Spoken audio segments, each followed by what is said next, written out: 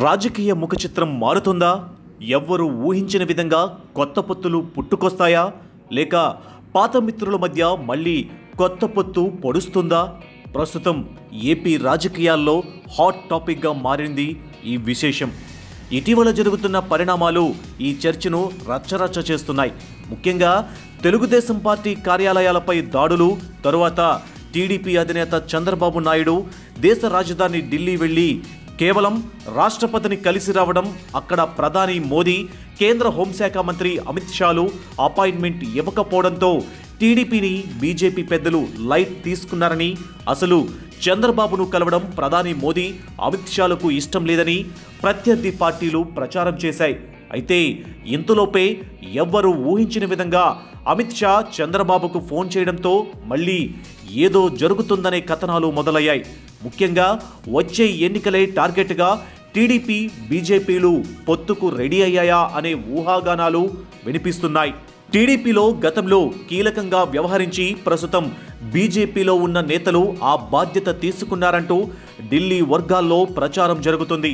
తాజాగా దీనిపై టీడీపీ నుంచి బీజేపీలో చేరిన రాజ్యసభ సభ్యుడు సీఎం రమేష్ స్పందించారు. రాజకీయాల్లో ఎప్పుడూ ఏదైనా సాధ్యమేనని వ్యాఖ్యానించారు.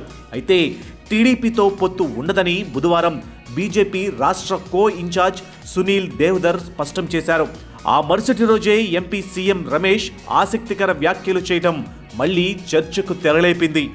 బీజేపీ టీడీపీ పొత్తు ఉండేది లేనిది కాదంటే ఏ పార్టీతో పొత్తు ఉంటుందనేది సునీల్ దియోదర్ లేదా జీవీఎల్ నరసింహారావు కానీ తాను కానీ నిర్ణయించేది కాదు అన్నారు సీఎం రమేష్. ఇది జాతీయ పార్టీ కనుక జేపీ నడ్డా బిఎల్ సంతోష్ లేదా అమిత్ షా నిర్ణయిస్తారన్నారు సీఎం రమేష్. ఎప్పుడైనా అమరేందర్ సింగ్ కాంగ్రెస్ పార్టీకి రాజీనామా చేస్తారు. ఆయన బీజేపీతో అలియన్స్ పెట్టుకుంటాడని అనుకున్నామా అంటూ ప్రశ్నించారు. రాజకీయాల్లో ఎప్పుడు ఏమి జరుగుతుందో ఎవరికీ తెలియదన్నారు. అది కేంద్ర నాయకత్వం నిర్ణయిస్తుంది. ఇది తమ పరిధిలోని అంశం కాదని సీఎం రమేష్ స్పష్టం చేశారు. ఇక మరోవైపు టీడీపీ మాజీ నేతలు ప్రస్తుత బీజేపీ నేతల తీరుపై సైటైర్లు వేశారు వైసీపీ ఎంపీ విజయసాయిరెడ్డి సుజనా చౌదరికి పచ్చరంగు వదల్లేదని వ్యాఖ్యానించారు.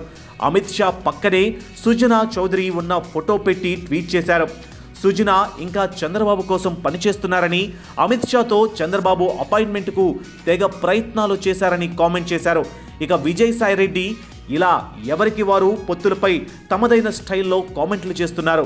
అయితే ఇటు టీడీపీ కేడర్ కానీ అటు బీజేపీ కేడర్ కానీ అసలు పొత్తు ఉంటుందో లేదో తెలియక సతమతమవుతుంది. మరోవైపు బీజేపీతో పొత్తు పెట్టుకోవడం కంటే జనసేనతో వచ్చే ఎన్నికల నాటికి పొత్తు పెట్టుకోవడం మంచిదని స్థానిక నేతలు కొందరు అభిప్రాయపడుతున్నారు.